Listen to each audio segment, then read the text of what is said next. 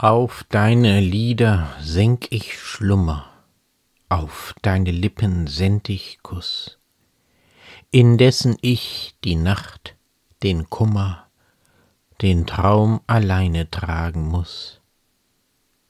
Um deine Züge leg ich Trauer, um deine Züge leg ich Lust, indes die Nacht, die Todesschauer weben allein durch meine Brust du, die zu schwach, um tief zu geben, du, die nicht trüge, wie ich bin.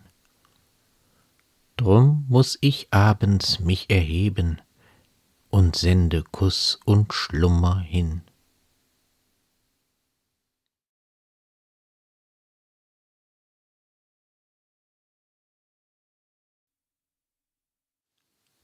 Auf deine Lieder senk ich Schlummer, auf deine Lippen send ich Kuss.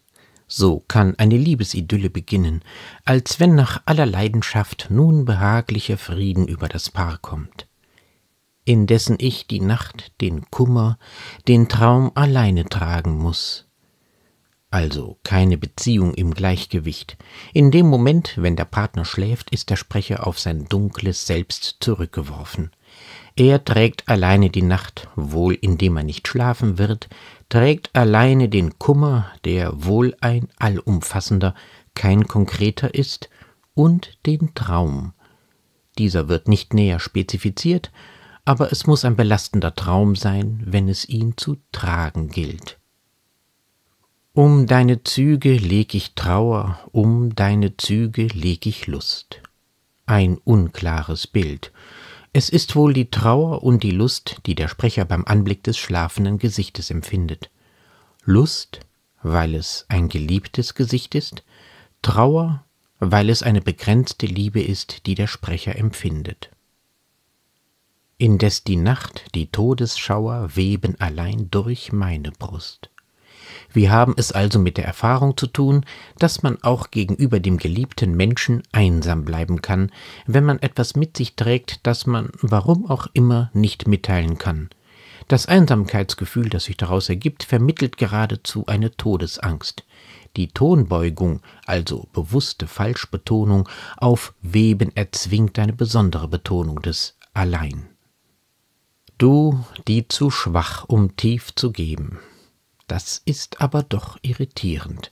Soll die Schwäche der Geliebten tief genug zu geben eine Mitschuld am Einsamkeitsgefühl des Sprechers haben?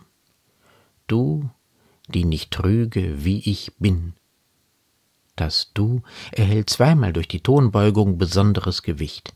Ist die angesprochene einfach nicht die richtige, oder bastelt sich der Sprecher hier aus seiner eigenen Unfähigkeit, sich zu öffnen und mitzuteilen, auch noch Hemingway-mäßige spröde Allüren? Tiefes männliches Schicksal, dem keine Frau gewachsen ist?